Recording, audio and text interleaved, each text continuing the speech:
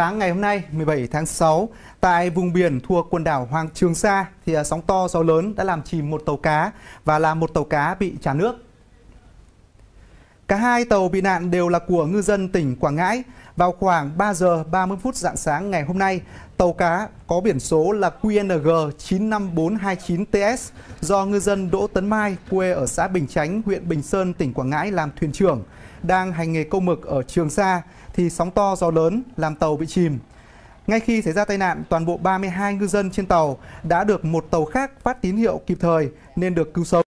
Trước đó vào lúc 1 giờ sáng, tàu cá biển kiểm soát là QNG 95186TS do ngư dân Nguyễn Thanh Dậu cũng ở xã Bình Chánh làm thuyền trưởng đang câu mực bị sóng to gió lớn làm đứt dây neo và va vào đá ngầm khiến nước tràn vào bên trong thân tàu. Bộ đội biên phòng tỉnh Quảng Ngãi đã tìm cách liên lạc với các tàu sợ để khắc phục hậu quả của sự cố.